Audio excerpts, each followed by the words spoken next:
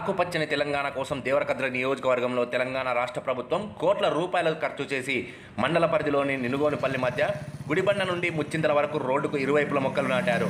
అయితే కొందరు దుండగులు అధికారులు గ్రామ పంచాయతీ సిబ్బంది అండదండలతో మంచి తుమ్మ చెట్లతో పాటు వివిధ చెట్లను నరికి అమ్ముకొని సొమ్ము చేసుకున్నట్లు గ్రామస్తులు ఆవేదన వ్యక్తం చేశారు. అలాగే రోడ్డుకు ఇరువైపుల చెట్లు నరికి వారే నిప్పు అంటించినట్లు తెలుస్తోంది. నిప్పుకు గడ్డికి అంటించడంతో ప్రభుత్వం నాటిన మొక్కలు పూర్తిగా మంటల్లో అగ్నికి ఆహుతయ్యాయి. ఆయా గ్రామ పరిధిలో చెట్లు నరకడం చూస్తే మహాత్మా గాంధీ జాతీయ గ్రామీణ ఉపాధి హామీ పథకం అధికారులు ఫీల్డ్ అసిస్టెంట్లు గ్రామ సర్పంచ్ గ్రామ పంచాయతీ కార్యదర్శుల కడసైగల్లో ఇదంతా జరిగినట్లు తెలుస్తుంది. సంబంధిత అధికారులు చెట్లు నరికిన వారిపై చర్యలు తీసుకోవాలని ఆయా గ్రామాల ప్రజలు కోరుతున్నారు.